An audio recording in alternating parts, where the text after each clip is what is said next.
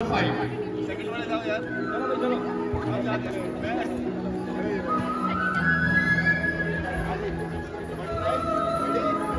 पर second position प्राप्त करने वाले प्रतिभागी bright scholar senior secondary school Sonipat के होनहार माननीय मंत्री जी